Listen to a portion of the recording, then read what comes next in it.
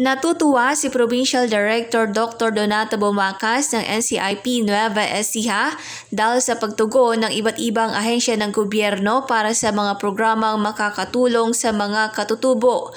Ganon din sa pamalang panlalawigan sa liderato ni Governor Oy Umali dahil sa suporta nito sa mga katutubo dito sa lalawigan.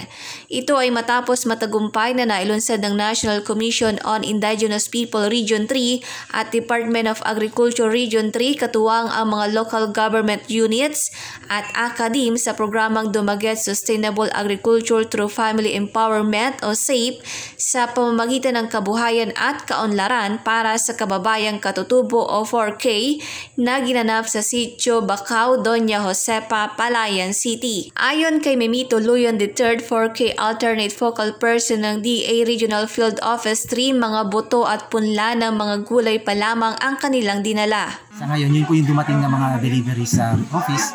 So, susunod po ang mga hinihintay pa po namin mga ipamam, uh, na delivery. Eh, yun po ang uh, mga hayop. Tulad po ng kambing, uh, free-range chicken at kalabaw. Tapos meron din po kaming hinihintay na mga garden tools. Tulad po ng piko, itak, uh, pangunahing kailangan nila sa kanilang pagsasaka. Sinabi naman ni Provincial IPMR Emmanuel Domingo na tinambala ni Governor Oy Umali ng bigas ang Food for Work program at mga seedlings na dala ng DA. Uh, bilang IPMR po ay nagkasundo po noon na ang sabi ay kinakailangan daw na uh, makahanap ng ka, katuwang na uh, magbibigay ng pagkain sa loob ng limang araw. Kaya agad ko po itong kinusulta sa ating butihing Vice Governor at sa ating Governor. Hindi po nagtagal ngayon pinagkalungan po nila tayo ng bigas sampung kaban po yan lahat.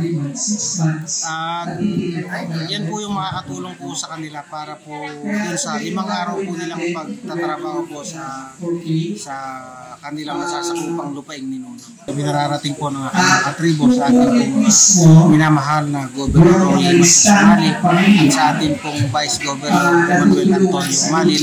Maraming pong salamat sa inyo.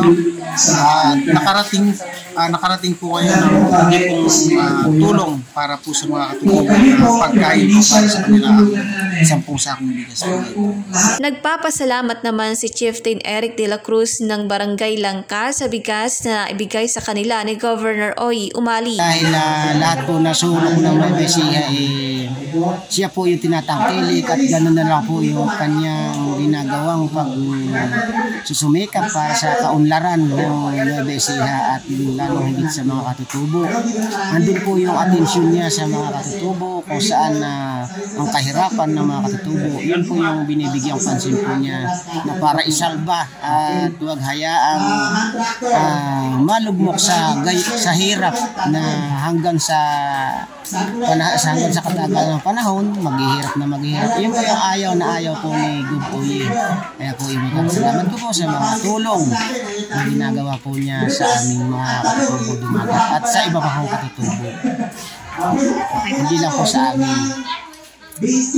Para sa Balitang Nueva, si Hamaylin Ponciano ng DWNE Teleradyo ang inyong kakampi.